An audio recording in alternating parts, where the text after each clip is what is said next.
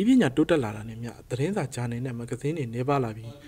အွန်လိုင်းရုပ်သံမီဒီယာတွေပုံမှုများပြားလာပေမဲ့စီးပွားရေးအကျက်တွေတွေနဲ့ရင်ဆိုင်နေရတာကြောင့်သတင်းမီဒီယာလုတ်ကင်သူတွေတက်အလုတ်ကင်ရှားပါမှုတွေရင်ဆိုင်နေရတယ်လို့ Smile Education and Development Foundation ကပြောပါတယ်။မာလာ19ရက်နေ့ကရန်ကုန်မြို့ Summit ပတ်ဗျူးဟိုတယ်မှာသတင်းမီဒီယာလွတ်လပ်ခွင့်နဲ့ငြိမ်းချမ်းသောလူ့ဖွဲ့စည်းအတွက်သတင်းမီဒီယာရဲ့အရေးပါပုံကို print media တွေကနေပြီးတော့ကမ္ဘာမှာလည်းဒီ online media ဘက်ကို space ပြောင်းလာတာကျွန်တော်သတိပြုမိရတာပါ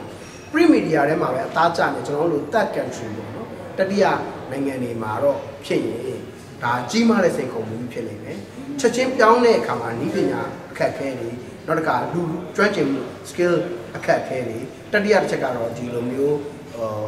ဟိုကရိယာတွေအသုံးပြုတဲ့ technology ကရိယာတွေအသုံးပြုတဲ့အခါမှာအခက်အခဲတွေနဲ့ media သမားတွေရင်ဆိုင်နေရတယ်ကျွန်တော်ထင်ပါတယ်အဲ့ဒီနေရာမှာကျွန်တော်ထင်ပါတယ်ဒီ media type တွေကနေပြီးတော့ transition ကိုချက်ချင်းဝုန်းနဲ့တိုင်းနဲ့လောက်တာမျိုးမဟုတ်ဘဲနဲ့ သူ့ရဲ့ space ကိုတစ်ဖြည်းဖြည်းချင်းနဲ့ transition သွားလာမျိုးလေ့ကျင့်ပြောထောင်ခြင်းအပြင် situation ကို change လုပ်တာအခြေအနေကိုပြောင်းလဲတာမျိုးနဲ့သွားမယ်လို့ကျွန်တော်ထင်ပါတယ်အဲ့ဒီကမှာအလုတ်ကံရရှိမှုတွေချက်တဲလာနေတာ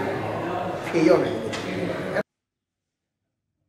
ဒါအပြင်ပုံနှိပ်မီဒီယာတွေအွန်လိုင်းရုပ်သံမီဒီယာလုပ်ငန်းတွေမှာရင်ဆိုင်နေရတဲ့အခက်အခဲတွေကိုတာဝန်ရှိသူတွေကပါဝင်ကူညီထောက်ပံ့ပေးမှသာ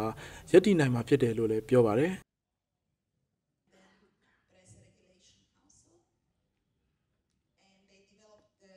ကျွန်တော်တို့မှာတော့ဒီဒီဒီလုံနိုင်ကိုင်နေတဲ့ space ကိုအစိုးရရဲ့ budget ကနေဘယ်လောက် space independent media တွေပေါ်လာရေးအတွက်ကိုထည့်သွင်းလာနိုင်တယ်ဆိုတာမျိုးကိုကျွန်တော်တို့စဉ်းစားဖို့လိုမယ်လို့ကျွန်တော်ထင်တယ်ဒါဆိုရင်တော့ဒီ print media ကနေပြီးတော့ progressive media ပြောင်းတဲ့အခါမှာ online media ပြောင်းတဲ့အခါမှာကြုံတွေ့ရတဲ့ challenges တွေကိုစားနိုင်မယ်ချက်ချင်းပြောင်းလဲတာမျိုးကကျွန်တော်တို့တိုင်းပြည်ရဲ့အဖြေမဟုတ်ဘူးဒါပေမဲ့ကျွန်တော်တို့အတွက်ကိုတကယ်ကို ethical status ဖြစ်အောင်လုပ်ရမယ်ဒီစားရမယ်ဟာအရင်ဖြစ်တယ် ကျင့်ဝတ်နေနေတဲ့သတင်းသမားသတင်း situation တွေသတင်းသမားတွေဖြစ်လာတယ်သတင်းပညာကိုစီးပူးလင်းလာတဲ့အခြေအနေတွေဖြစ်ဖို့ကျွန်တော်တို့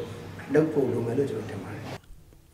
ဒီစင်းနေပွဲမှာမြန်မာနိုင်ငံရဲ့သတင်းမီဒီယာလွတ်လပ်ခွင့်နဲ့ငြိမ်းချမ်းတဲ့လူမှုအဖွဲ့အစည်းပေါ်ပေါက်လာဖို့သတင်းမီဒီယာရဲ့အခမ်းကဏ္ဍအားလက်တလောမီဒီယာသမားတွေကြုံတွေ့နေရတဲ့စိန်ခေါ်မှုတွေနဲ့အလောက်ကိုင်းတဲ့ပညာရှင်တွေနဲ့ဖြည့်ရှင်းဖို့နည်းလမ်းတွေကိုရှာဖွေဆွေးနွေးခဲ့တာဖြစ်ပါတယ်ခင်ဗျာ